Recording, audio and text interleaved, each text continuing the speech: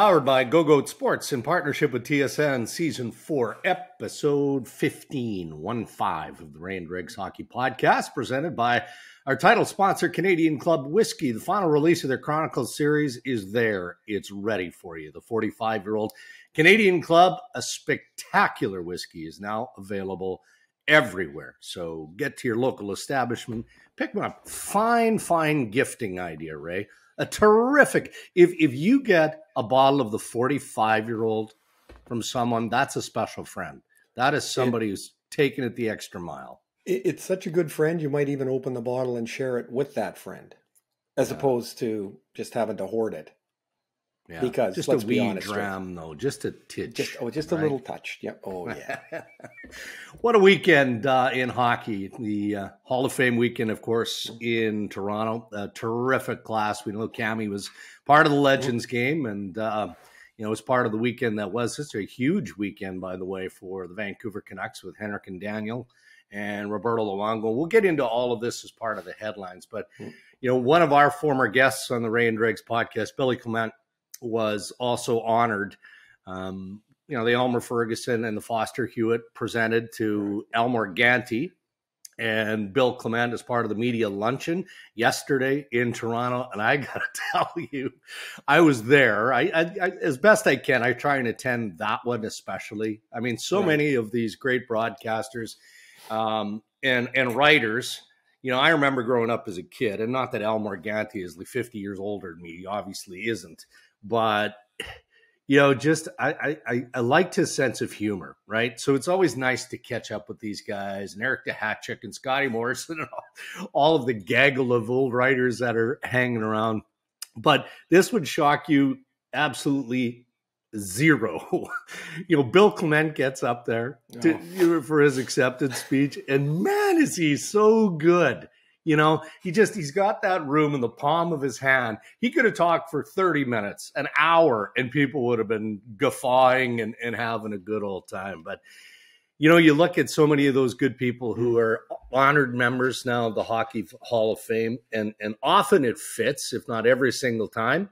But Bill Clement and Al Morganti, especially Billy, just so appreciative, right? Because you would understand this. Like he came from the playing career where he's a pretty good hockey player, mm-hmm. to you know dabbling in acting and everything else, and and then has had a pretty established broadcast career over the last few decades as well.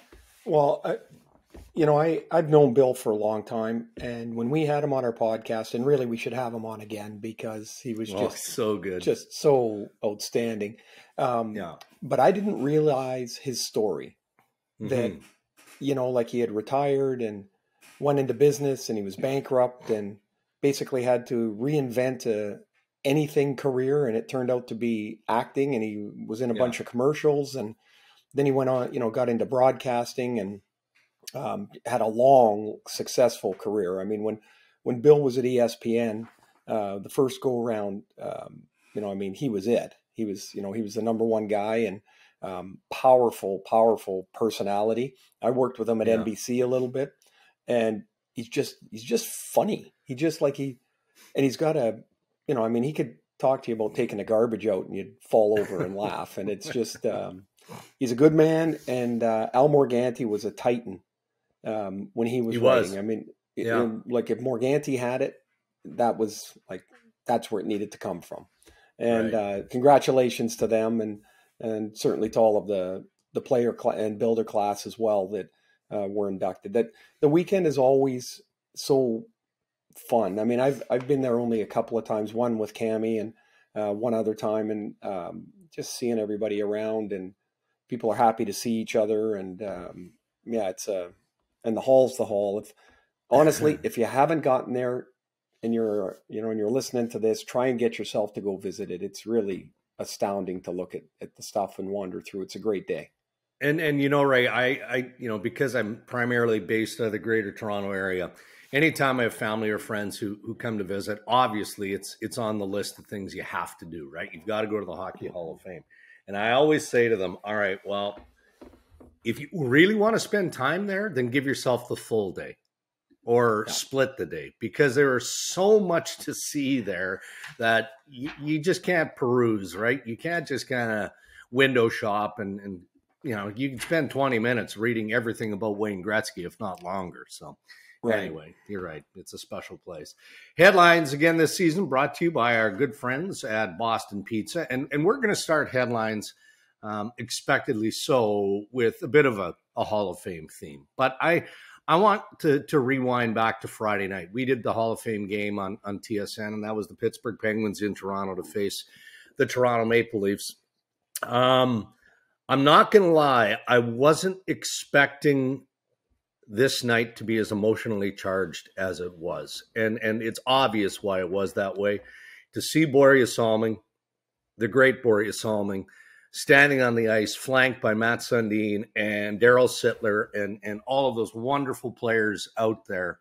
And the ovation, which was seemingly endless for Salming and, and Sittler weeping, right?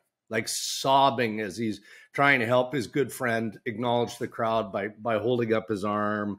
Um, and then just to to see just the sheer love for being well back in his hockey home of of Toronto was just something else. There literally wouldn't have been a dry eye in the house, including the ink stain wretch that I am and others were around our set watching this all unfold. But but that's kind of part of what this weekend is meant to be and part of, right? Well, it is, and you know, however, this was just, um, you know, this was just different you know, like uh, yeah. uh, to see. I, I don't think any of us um, really had the well, no nobody really had the knowledge of of in what condition Borje was in, um, given the you know the reports that he had uh, been diagnosed with ALS, and um, I, I don't know. I in my head I had it had him not as far advanced as he Agreed. was, yeah. and maybe I was hoping that. Um, but to see him and to see the the devastation that that disease has on people, um, mm. certainly, you know, in the hockey community, Mark Curtin has been a outspoken advocate just for support and courage is just remarkable what Mark has done. And to see Borje, you know, I played against him for four year, five years, and uh, right at the end of his career, you know, he'd gone a little bit in Toronto, but then went to Detroit. But mm-hmm. he was just um, there was something about him. Like you'd look at him on the ice, and he, like literally, he was the king. I mean, they that's yeah. what they called him, right? His nickname was King, and um, yeah. um, like he just he just commanded. And this wasn't even at the peak of his career. If you want to see something that's really cool, go back to the '76 Canada Cup, and just you can Google it and Google um, Salming's ovation when he gets introduced, first against the United States and then against Canada. And um, uh, people from Sweden said that was the first time that they realized what impact Borje Salming had in North America. Like they didn't know because the internet wasn't around, and yeah, you know, yeah, he's yeah. playing in Toronto, and yeah, I'm sure it's a big deal. And they just about took the place down when when he was introduced, and uh, it was, it's just it's so sad. But I'm really I, I'm happy he was able to see and process how much love there is for him. Yeah. And and for daryl and the players that knew him and played with him, um, you know, I I mean it was off the charts emotional for them. Cammi was at the game and she said there, you know, she looked around and there was not anybody without no. a teary eye. Like they just no. they just uh, just wish him and his family all the all the best that there that there can be. How did uh, Cammi participated in the Legends game? Um, I mean, it had so many interesting elements to it. You know, historically, that game, I mean, for guys like us, Ray, you know, of course, you have a vested interest in it because Cammi's participating, and I, you know, I think we're all pretty eager, intrigued to see Roberto Luongo play as a forward. And damn, he was pretty good you know, as far as goalies turning forwards, I, I don't know that I should have been surprised. Well, but... you got to remember though, when he retired, I think the first thing he do did was drive a stake through his goal pad so that he would never be tempted to put him on again. So he plays down in Florida. I saw him actually a few weeks ago. He was it was after a morning skate. And I had a game there, and he was walking in with his hockey bag, and and I said, "Where are the pads?" And he's like, "Oh, I don't have those anymore." And so like mm. he hmm. goes and he plays as a forward, and uh, Cammi did have fun. Um, you know, as you get older, you're like, "Wow, my body doesn't move the same way it used to move." but she had a lot of fun. She was, you know, she played some with Daniel and Henrik, and um, who you know she's you know we know well from here in Vancouver, and um, and certainly she's working with them right now. But um, she had mm-hmm. she had a great time, and she um, she just said like that you know there was such a group of players that were all around the same age that they all came back to play for their for their buddies that had been or that were being inducted. And she said it was just amazing to watch just um, how connected those guys were. Well, look at I mean two icons of the game, right? As captains in Mats Sundin and Eric Lindros. You know, if you you can dust those two guys off to come out and play, you know, basically a charity game. I mean, with all due respect, I mean, how do you say no if you're asked and you're yeah. someone other than those guys? Of course, you're going to play. Well, okay, so this is how much Cammi skates, and for those that know the way our house runs, this will not be a surprise. So they had a game. Um, the Canucks played, and she texts me. She's at the game. I'm at home with the boys, and she says, "Hey, I forgot um, my gear that I'm supposed to give to the trainer. They're bringing it on the trip for me. Uh, mm-hmm. Could you mm-hmm. go get it?" So I'm like, "Yeah, sure, no problem." So I go get her gear, and she then she texts again and says, "Hey, take a look just to make sure the skates are in there." So I take a look; they're not there. so I'm like, well, "Where could they be?" She said, "Probably in the coaches, the little coaching bag we have when you go on the ice. So I look there. Of course, they're not there. So now I got to look for her skates, which yeah. should tell you the last time she had them on. Yeah. So I'm looking around and I don't know. I, I look for half hour dregs. I can't find them. And oh, I don't boy. know why it clicks. I'm like, I think I saw them in the basement somewhere. Like, what would they be doing there? Or hockey gears in the garage. So I go down the basement. They're not there. Now I'm looking around. I'm kind of, I don't know, just wandering around. I open up the closet in the guest room. They're in the closet in the guest room. Like, well, what would they be doing there? Perfect sense. Either that or the freezer. I mean, where else would they be? so I pull them out. I'm like, yeah, I got them. She's like, where'd you find? Like, she had no idea. But that's just kind of how our house works. So got them in the bag and off they went. Another special moment is always the induction speeches, right? And and just the acknowledgement of these great players and all those who have helped them get to this point, Hall of Fame status.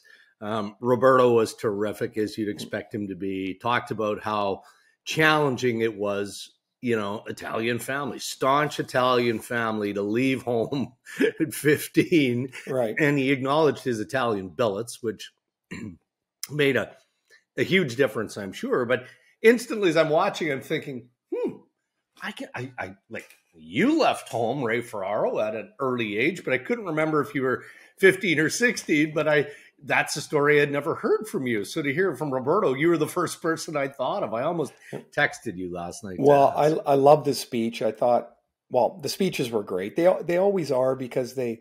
I love the fact that the guys get the chance to talk about things that people just don't know about them and about their their journey and the people that helped yeah. them and that sort of thing. So when I was 16, uh, I was going to go to Penticton, uh, which is about four hours from my hometown and my parents said no that they so i stayed home. I stayed my dad said um, you need to finish grade 11 before you can you can go. So i stayed home at 16 and i didn't leave till 17 so roberto left two years before. And i don't know this about roberto and and his you know the italian parents and his mom but i'm not even kidding here when i left at 17 it was the first time i'd never had my t-shirts and my underwear ironed I had no idea. I'm like, oh, this is how they do the laundry here, I guess. I had great billets, amazing people.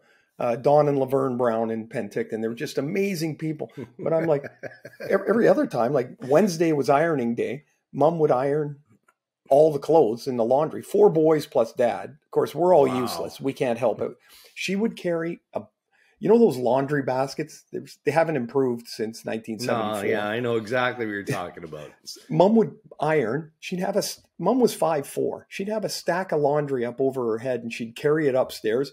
Us slobs would be watching TV, and she would just walk right by us with the laundry. You think somebody could have helped, but mom ironed it all up and it was and then so i'm sure roberto went away and he got italian billets so maybe he got eased in a little bit but um, his speech was see, terrific. that's where you get your cleaning chops from right? I mean you witnessed it firsthand the attention oh. to detail it all makes perfect sense now. Yeah poor poor mom no help no help. Yeah you're right i mean roberto's speech was awesome as expected. Um, daniel sedin acknowledged and i was a bit taken back by this I don't know why I should be. They're twin brothers, obviously, but Daniel acknowledging that Henrik was a better hockey player. Okay, fair. Well, but then he went on the to Hall say, of Fame. Hey, you both end up in the Hall of Fame, so you're, you're not so bad. Yeah, you're not so bad. He acknowledged that that Henrik was a better person, and I'm like, geez, that's a nice thing for a brother to say. And and mm-hmm. he went on to expand in, in how Henrik has been a calming influence for him on the ice, off the ice, all those things. And then Henrik gets the mic after Daniel and just spears him about four or five times. And I just chuckled because, I mean, you know the family well, but there is such a connection and bond between those men that now makes it make perfect sense how they had that sixth sense on the ice where one guy was going to be where the other guy was going to be. And and i mean it was just poetry to watch them play in their prime. Uh, but to to hear the acknowledgments and just the love pour through those two guys even in a in a fun natured way that that made that speech if not unique certainly special for me to listen to. Well of course it's unique though dregs i mean like yeah. they're twins and they're both in the hall of fame you know, like yeah, it's yeah. astounding. It's not like twins, Danny DeVito and Arnold Schwarzenegger, right? Like, you know, by the way, good movie back in the day. Really um, good, yeah. Uh, but one thing that is, I, I don't think that people quite would understand, maybe they do now because there's been enough stories written about them, was how ultra competitive they are. Like, even now, they run this trail here. It's called the Grouse Grind. It goes up Grouse Mountain. They race like they're not running hmm. up there together; they're racing each other. And if hmm. somebody's ahead, the other guy's trying to catch them. Like it's it's remarkable how they've pushed and prodded and you know helped each other along their way. They took a lot of crap in the early time of their of their career here. And if you look at their pictures when they came over, they were a couple little chunky Swedish kids, right? It's like you yeah. see the not today, yeah. but used to be like these chunky kids that come into the NHL with all the little baby fat. Yeah. They're 18 years old. And they were no different than a Canadian kid or a US kid that comes in at 18 and you then you look at pictures of them 10 years later, like they're not even the same people. So it took them, like Henrik said, you know, at 23, we weren't, you know, we didn't think we were, we should be an NHL players. Like they, they, they were four or five years into their career and I then know. they just exploded. And, you know, um, I, I do think one thing that, you know, you know, people like to, people like to talk about people that are in the Hall of Fame about what they're not. And so, you know, you hear a little bit, well, they never won a Stanley Cup and Luongo didn't win a Stanley Cup. I think that's almost last for me. If I were voting, which I'm not, that's almost last in criteria for me. It's not the Hall of Fame of being a good teammate and being on the in the right place at the right time. Right. Sometimes you just you're not there. You're just not mm. the the window is not there. If so, let's let's assume Henrik and Daniel just missed this, the Hall of Fame, among others. Luongo too, mm-hmm. they just missed. And somebody says, yeah, it's because they never won a cup. So you mean if they would have won Game Seven in 2011, they would have been in? One game matters whether you're in or out. It makes no sense to me. So I I think the Hall of Fame should be first of all, I don't think it should be for the good. I think it should be for the great. I think it should be for difference makers. It should be for I'm major award winners. Yeah. And I think somewhere along the way, the voting has kind of gone offline a little bit like that. Um, that would be my critique of it. Um, I'm glad those guys are in. I, I really am. I, I think they deserved it. They won a Hart Trophy. They won a scoring title. Luongo played was playing 75 games a year. He gave our buddy Noodles a little kick in the shins there about the the one game. He goes, you know, I was playing 75 games a year, so Noodles had to play five. but they were just like they were they were our great friends, and um, yeah, uh, you know, and then you know, I, I, also liked about Luongo talking about his goalie partners and yeah. what it's like to yeah. be, you know, buddies with the guy that you're playing a different position with. Yeah, and not overlooking Daniel Alfredsson, Riikka Salonen, or Daniel you know, Alfredsson family. Um, yeah. Of course, I played against Alfredsson. He was good. and like also like fiercely competitive, right? Like I mean, way more competitive. Obvious, yeah, but yeah. but I, I I think we, well, me, you know, I've had a long vision of competitiveness about, you know, guys that would you know would be fighting and you know and I, you know I grew to realize that's not the case. I mean, remember when the Ottawa Toronto thing was at its height, and um, uh, Alfredsson had the broken stick that he was going to throw in this. You know, he pretended he was mocking throw Mats. Yeah, yeah. You know, like it, like that. That was as heated as there was. Alfie was a was a terrific player, and yeah. I'm going to say I I do hope that Rod Brind'Amour and Alex Mogilny work their way, get enough votes to get in. I, I just, I think they both deserve to be. They were, they were amazing players in their day, and they're, they're not in. And I look at the guys that are in, and I'm like, those two, in my opinion, should be in. Mm-hmm. Yeah, well, fair enough. And again, I that it matters because you know you've you've earned your opinion, but you also played against those men too, right? So you got a front row seat and experience so to how good they were. Yeah, Mogilny was on a on another planet. Like he was so good, and Brind'Amour was horrible to play against. Yeah. Terrible, and which of course I mean in the utmost respect. I was just like, yeah. he would, and he played fifteen hundred games. Like he's, you know, he a thousand points pretty much. You know, like I don't know, he should be in. All right, let's let's take five minutes and just buzz around the league a little bit because yep. there are a number of stories that we have to kick around here. Um, you know, not that long ago, we were talking about the St. Louis Blues and what the hell is going on with the St. Louis Blues, and we're listening to Ryan O'Reilly dive on the sword, and you know Doug Armstrong having to talk to the players and, give Craig Berube the vote of confidence. Well, all of a sudden, they've won three in a row. And maybe it's media fodder to pinpoint when one game can potentially be season changing for you. If that's fair, then is that game last night? Because they play a really good Colorado Avalanche team, right? Jordan Binnington, I think, made 45 saves in that game. Right. They've got a five on three. The Avs, that is, have a five on three, which I think actually turned into a six on three because they, they, pulled, pulled the goalie, goalie late yeah. in the hockey game. Like, and they hold on to a 3 2 win. So, is again, is it just headline stuff that we in the media focus on when when a team that struggled of late, you know, starts to to hit some momentum?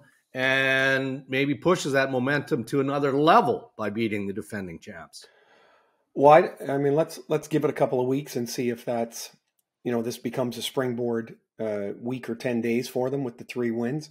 Um, I watched the last half of the game last night. they didn't have the puck much. No. Like, you know, when your goalie makes 45 saves, you're like, oh boy, he was really good. And Binnington mm-hmm. made a couple of fantastic saves. It was like it was like the Avs just kept coming in waves at them. And St. Louis actually, um, you know, they had a chance though, in fairness, to put the game away. Schenn hit Luke, uh, Brayden Schenn hit the post with um, about four minutes left. Hit the post, came straight back out. I'm trying to think who the forward was. Was in behind the goalie. Was in behind Georgiev, and he missed the puck. I mean, it should yeah. have been four two, but it wasn't. Um, but they showed they showed a little bit of a little bit of grit. I mean, they were a little bit of heart. Um, yeah, yeah.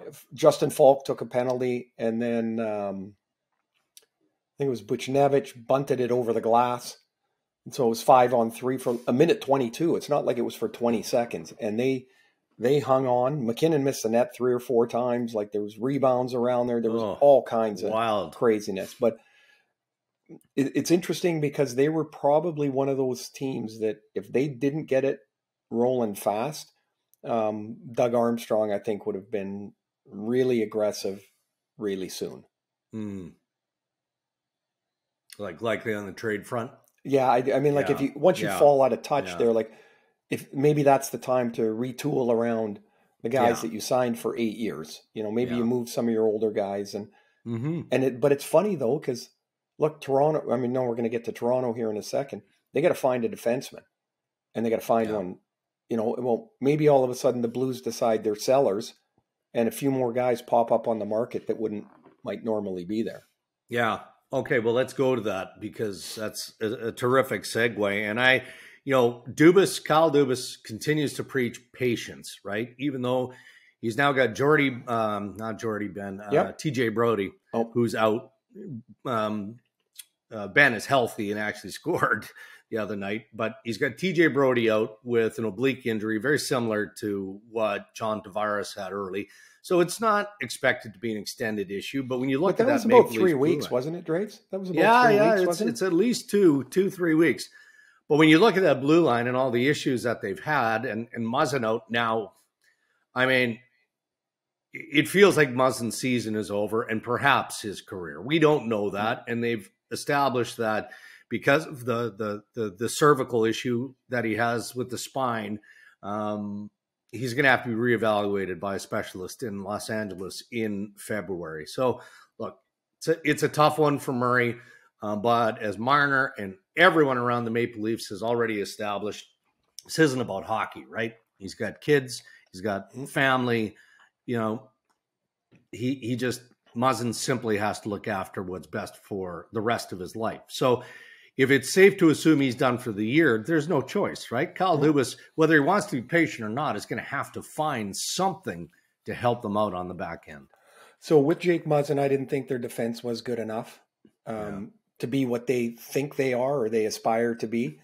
Um, and that's a team that can go deep in the playoffs. Um, I look at that defense as it's currently constructed, and I'm like, oh, I don't know. Can they? How are they going to defend in a playoff series?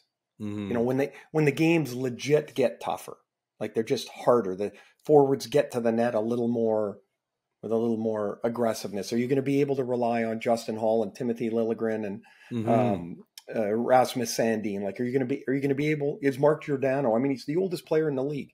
Is he going to be able to to withstand it? I and yeah, look, I think the guy's fantastic. I, like I, he's he's been terrific since he's come to Toronto. He's had a had a great career, but you're asking a lot.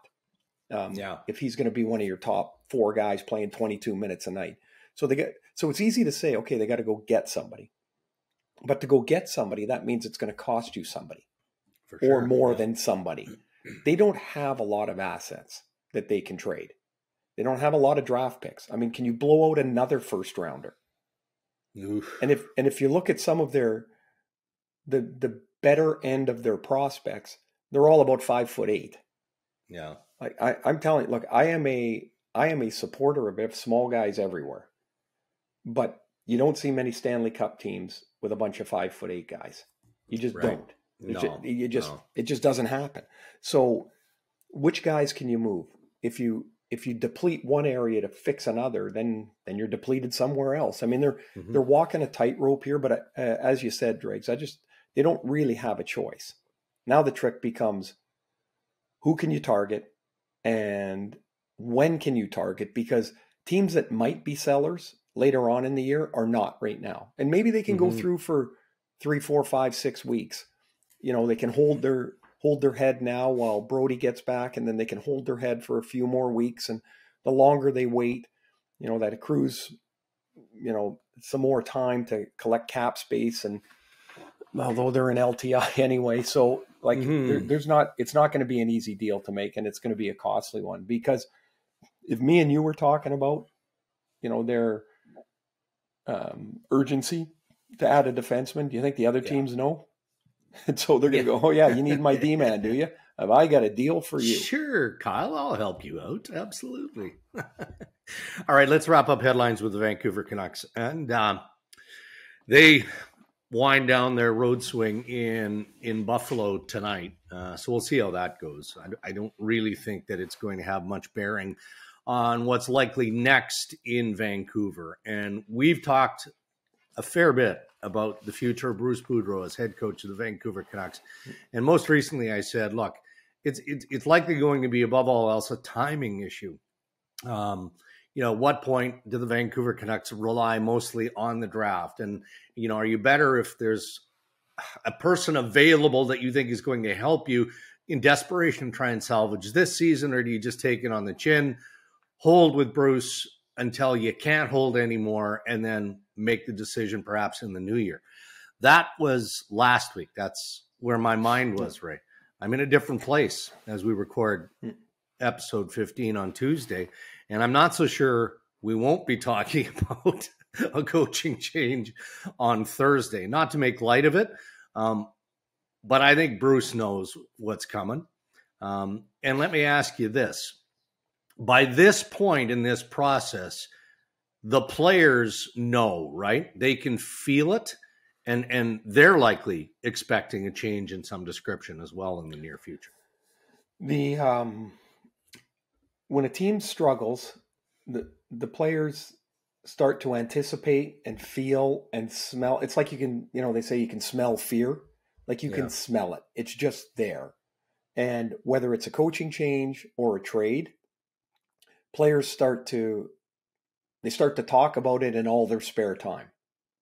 I mean, that becomes the um, that becomes the number one topic for for players as this stuff is swirling around, and that's when it was that way when I played. Of course, it's going to be this way now when every time they open up some of their social media, it's at the it's at the top of their chain. So it's a um, it's a hard spot to be in, uh, of course, because that means your team's not playing very well. Makes you take a deep look at their at your own team. Um, plus, it's easy to say, "Oh, we got to fire the coach." Well, then who's going to coach? Yeah, you can't just say, "Well, we'll figure it out." So, do you hire? Do you hire a veteran coach? Well, a veteran coach is looking for three or four years, I assume. Like they're not mm-hmm. coming in for six weeks. No. Or do you have an interim coach mm-hmm. and just try to right the ship and, as you say, get get into a position where you start selling some assets and try to collect some draft picks and and again, like there's lots of articles written this, written about this stuff. I, I wonder if the people writing them understand you can't just trade guys away to get draft picks. No, has anyone noticed the other articles they're writing about no cap space? Like you've got, yeah. there's no room. Like you've no. got, so it's it's way harder, way harder than it should be to make a trade, and it's way harder than it's ever been given the flat cap and the no space. I mean, I think I think I read today 16 teams are in LTI already. Yeah. Well, they don't have any room. No. Zero and so, room. You know, so and it's probably early for those teams right now to say, yeah, we'll sacrifice um, some of our future assets for you know an impact player now. It's probably a little early for that.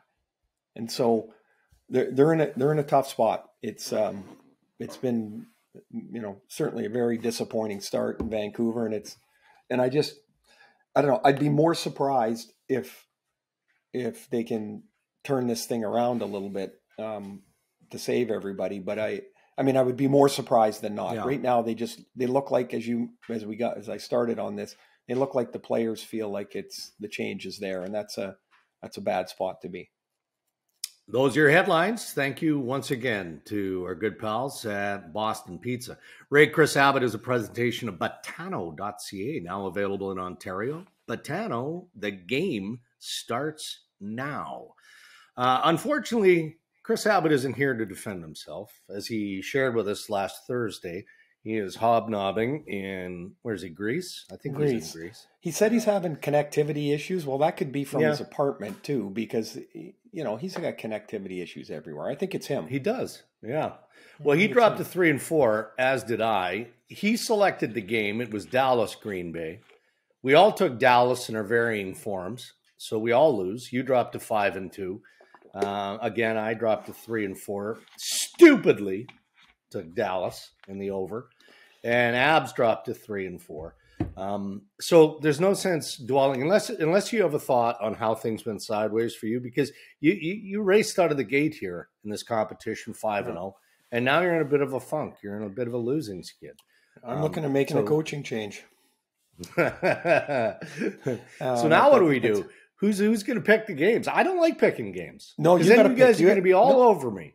Yeah, but you got to pick because abs Abs picked last week, and you know I picked Drop the ball. I think four. But here here's yeah. the thing: as we left yesterday or er, last week, Abs said, "I'm telling you, the real play here is just, I'm not going to do it, but the real play is just to take the over." Which I did. No, but but he said just just take the over. Don't be teasing yeah. it. Don't be doing it. I just take the no, over. I know. Fade the Packers if you want, but he goes, "That's the real play, but I'm not going to do it." yeah. There you go. Yeah. That's the that's the old uh, reverse lock of himself. I'm, I'm kind of surprised that maybe he did do this, and he'll share on Thursday if he can get his connectivity issues resolved. Maybe he hedged. Maybe he did both and just didn't tell us. So, for oh, the sake of our game and the podcast, he's he's only going to acknowledge that he lost and dropped to three and four, but in his professional world, maybe put some cash down on the over. Well, I know he did put some cash down on his favorite player, Tage Thompson, to score. Uh, that it was against does. Vegas, and Thompson yeah. scored again. So, yeah. All right. Speaking of, why don't we quickly? Um, he, you know, Abs would have wanted to talk about this. The Stanley Cup favorites and the winners are already out, right? And you can check that at betano.ca. Um, I don't know if this should come as a surprise to this point of the regular season. Probably not. I mean, the defending Stanley Cup champs still look real solid, don't they? So you've got mm-hmm. Colorado at plus 500, followed by Boston at plus 700, and then the Vegas Golden Knights at plus 900. Um, and a few teams, Ray, Carolina, Toronto, the Florida Panthers, all at plus 1200. Right. I'm trying to think if there'd be a surprise for you in any of this. Well, I'm I'm looking down the line here, and it's, yeah. it's kind of cool to look and go, hey, you know, what if what if this team won? What if you know maybe I could you know put a few bucks here and you know and, and take somewhat of a long shot, but you get past about eight of those nine of those teams, and I'm like, well, could the rest of them really win? Like, yeah. could they? And so the the ones that you know, I still think the Rangers are going to be pretty good because I think the team they'll have past March third is not the team they have right now.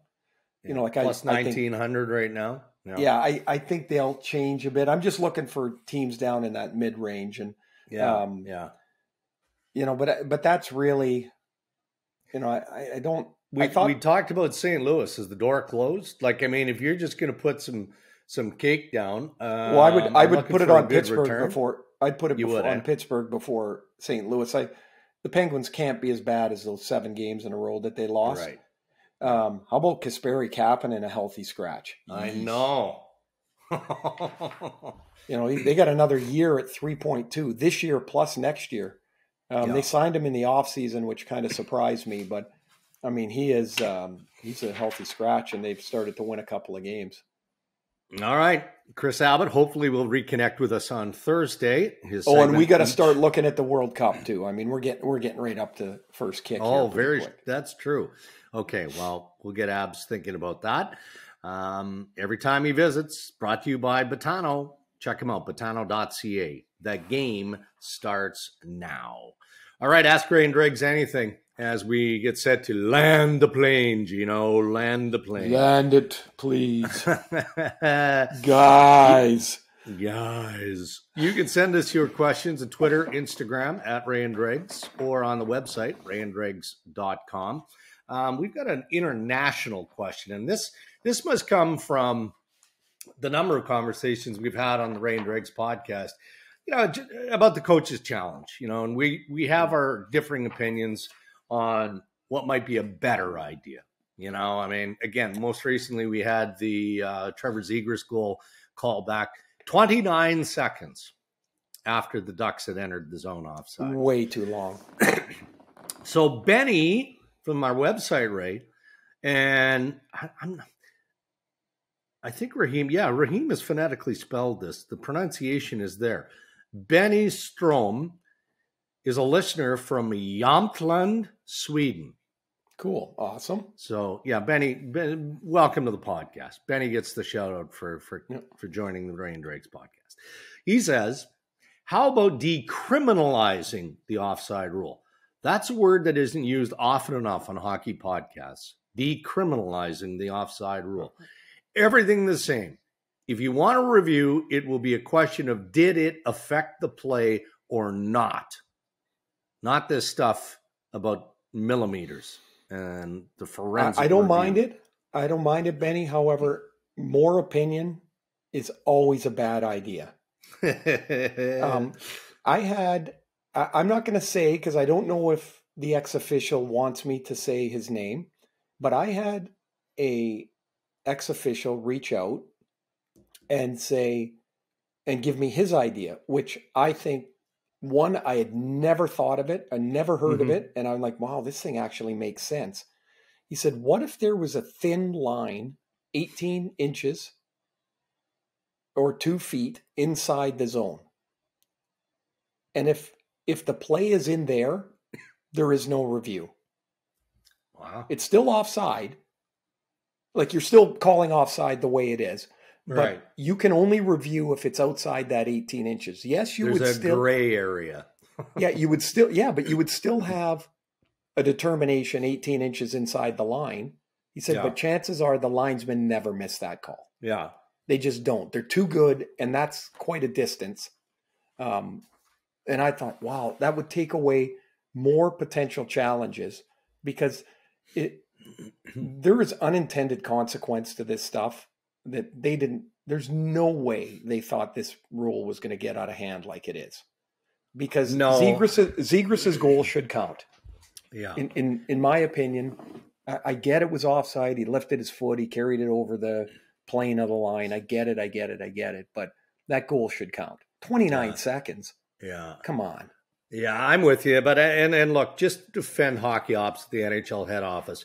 The reason they didn't bring in video review for years, and we've been talking about this for two yeah. decades. Honestly, you know, um, and I mean, it, it it became necessary when Matt Duchene, then of the Colorado Avalanche, was 12 feet offside, right? So that's when hockey ops went, okay. Uh, I mean, that's obviously a, an egregiously missed call. So we've got to clean this up. But I, I distinctly remember Mike Murphy, Colin Campbell, Chris King, all of those people in hockey operations at the GM meetings going, guys, I'm trust me, you, you can't put the genie back in the bottle. Once we right. start with this stuff, then you're taking the judgment away from the on ice officials, and we are going to be chewing over minute calls, and that's exactly you're you're 100 percent correct. Um, I remember hearing it too. I remember, you know, in the meetings that I've been to that they talked about it. Gary Bettman has said the same thing. Once you start, it's going to be really hard to stop. And now we're, you know, all these years later, now we're debating which play yeah. should be reviewed and which yeah. shouldn't. And it's, uh, to me, I don't, I don't know if it's made things better or not. All right, um, let's go to an old question. Brad Rempel has been very patient with us here on the Ray and Dregs podcast. He's been sending um, a question regarding the Winnipeg Jets for quite some time. We just haven't been able to get to it. So, uh, Brad is asking Ray, and we figured out the enigma that is the Winnipeg Jets. And he's probably going back to earlier in the season, but no big offseason trades as some speculated. I mean, cap issues, a big factor in Winnipeg, no different than a lot of teams around the league. Blake Wheeler, of course, no longer the captain of the, the Winnipeg Jets. So now, if we can fast forward and just alter the question a little bit, what is going on in Winnipeg? And are we surprised that the Winnipeg Jets are at the top or battling for top spot in the Central Division. Well, I, I am. I'm surprised. Yeah, yeah. Um, I didn't see it. Uh, we'll start with Wheeler. Um, you know, that's a hard one for for Rick Bowness to go in there and say, okay, I'm going to longtime captain. I'm going to take the C off, and um, we're going to, you know, we're going to use it more by committee. But what that what that had done, there had been there had been enough talk that they needed some change in Winnipeg, and that's a pretty seismic change. And, and yeah you know, I know Wheeler addressed it before the season, but you got to take a large bite of a ego sandwich there to have the C taken away and to just move on to right to just go okay i get it and i'm gonna you know i'm gonna be part of the leadership group but i'm not gonna be the leadership group uh, the jets uh, there's been plenty of talk about how that room is changed and opened up and it, of course it's easy to say yeah it's all because wheeler isn't the captain but that's not true. It's that more people get drawn into that vacuum. And so more people take ownership of the leadership of the team. But that's that's one part. The second part is Hellebuyck stopping the puck 93% of the time. 0.935. So good right now, man. Yeah. Oof. And then look like they're doing this. They're 9 4 and 1 Dregs. Kyle Connor's got two goals. I know. He's yeah. got 10 assists, but he's got two goals. Kyle Connor's going to get 30 goals, 35 goals. He's a fantastic player. Scheifele's got 10 goals. He's off to a great start. Wheeler's got 10 points. and then uh, you know Pierre Luc Dubois got seven goals. So if you're if you're looking for reasons why, yeah, the chemistry might be different, the leadership might be different. The top end of their roster has been terrific. You can't win without it. All right. That's Ask Ray and Dregs. Let's wrap up episode 15. Look forward to Thursday. You're at the home office in BC. So what's what's your travel schedule this week? I got nothing until Woo! December. Germany the, well, coming up though. Yeah, uh, 23rd. I'm going to Germany, so that's what yeah. eight days from now. So yeah. I'm going to see Landon in eight days, and looking forward to that. Uh, but between now and then, nothing. Um, Cammi's away right now, so mm-hmm. uh, as soon as we hang up, uh, kids to school. Hopefully, I get them to the right school on the right time, and um, which which you know, and then it can uh, be just, a challenge on oh, occasion. Oh, it can be, can be, and um, yeah, just home. Looking forward to being around, and then my next game actually is a Leaf game in what? in Dallas.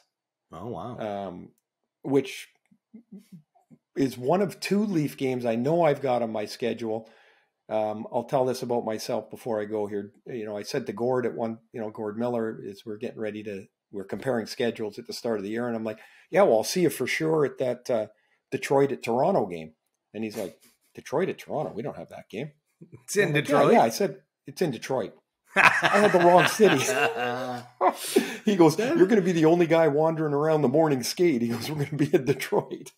I'm thinking about Dallas, and I'm not going to take this off the rails here as we wrap up, but you've seen the sequence where it was Dallas playing Edmonton and Zach Hyman standing beside Jamie Benn, and they're just having that friendly chat. and Benn just whacks his stick out of his hand, and the next thing you know, Zach Hyman's like basically in a headlock. Which I there's something about Jamie Benn. His game is slowed and all of that, but man, he's just he's like a throwback, right? Like I just I he well he had a chuckle. game, Dregs last last week. He had a game, and he was a monster.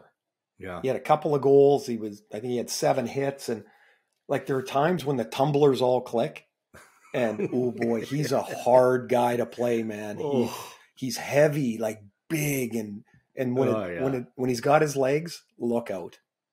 Well, Hyman's just like, what are you doing? But yeah. knowing that there's not a damn thing he could do about it either, that's right? A, that's a bad like, place to be. When when you're giving it to when you're trying to give it to someone and the guy turns to you and goes, "Yeah, what are you going to do?" And you're like, well, "Yeah, you're you're, you're not." Yeah, no. no. All right, buddy. Well, I'm glad you've got some time at home. So yeah. how about you? It we'll, busy one or no? Uh yeah, busy. We've got uh, the Leafs and the Penguins. Strangely Toronto and, and, Pittsburgh play three times in like 15, 16 days, and then yeah. their season series is over. Matt um, Murray um, making his return. He is. And this is going to be a challenging one for me tonight. Overdrive is taking over the panel. So no James Duthie, no Cheryl Pounder, no Dave Poulin, no it's it's Brian Hayes hosting with the O Dog and Noodles and me and there's me because I'm the babysitter for this debacle. I'm the zookeeper for these animals. So well, uh, Noodles, by the way, Noodles will be there. Take a look, unless they can make up oh. and and fix them up. He took a stick in the coconut the other day. He did. And, uh, oh, that hurts. And here's the other thing: when you're in your 20s and you get a stick like that, it's just part of the game, right? yeah, badge like, of honor. You just move on. And you're like, oh, that hurt, and you move yeah. on. When you get to be Noodles age and above. That does not, you do not need that. That's just no, uncalled for. No, no. And he took and, it right in the side of the squash there. And so that, uh, they, they better have good makeup for him today. I mean, a valiant shot to the head. The one that is embarrassing is is Craig Button's pickleball, you know, nonsense. Yes. Remember a couple years ago when what smashed his head in playing pickleball. All right, buddy. Well, you have uh, a good week, and uh, we'll reconnect with. Uh, I don't know. We'll have some kind of A-list guest, big time celebrity hockey sensation on Thursday. How's that? Wow, that's quite a buildup. Yeah, I hope get so. on it because that's a, right, that's a, that's your department. So get on it. Huge shout out to our partners who make this podcast possible, our title sponsors, and our good friends at Canadian Club Whiskey, who ask, "Are you over beer?" By Boston Pizza, pick it up or get it delivered to your door. Just let Boston Pizza do the cooking for you and your family tonight. By Betano.ca, now available in Ontario. The game starts now. And by Doer, Check everything out at Doer at Doer.ca. Order online, and uh, you'll receive a 15% off discount by using the code RND15. That is episode 15 of the Ray and Dregs Hockey Podcast. Until Thursday, episode 16, stay safe and be well, everybody.